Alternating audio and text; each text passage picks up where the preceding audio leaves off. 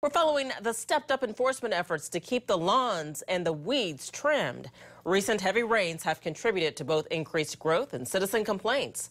RTV6 reporter Jack Reinhardt has the story. He's the neighbor every neighborhood likes to have. Craig Sanders diligently mows his yard whenever it needs it. The property next door, however, has become everyone's eyesore.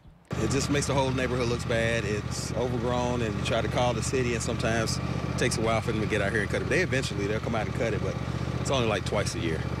Near record amounts of rainfall have contributed heavily to an increase in complaints about high grass and weeds. So much so that the Department of Code Enforcement has created so-called hot zones, areas of Indianapolis with an infestation of vacant properties and unattended lawns. And in some neighborhoods, they not only create health problems, but crime problems too. We had an incident here, what, last year, year before, where supposedly a young lady was raped uh, in, the, in the, excuse me, in the weeds over here.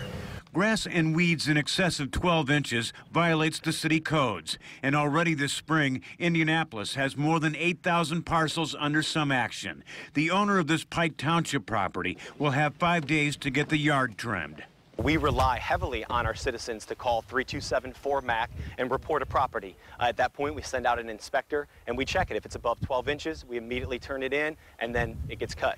Many property owners fail to comply with the citation, and in those cases, the city will send their own crews on the property within 15 days. Whether the property is privately owned or in foreclosure, the fine is $353 per cut. One way or the other, the city will get its green. In Indianapolis, Jack Reinhardt, RTV6. If you have a complaint about excessive weeds, high grass, or other environmental concerns, call the Mayor's Action Center at 327 4MAC.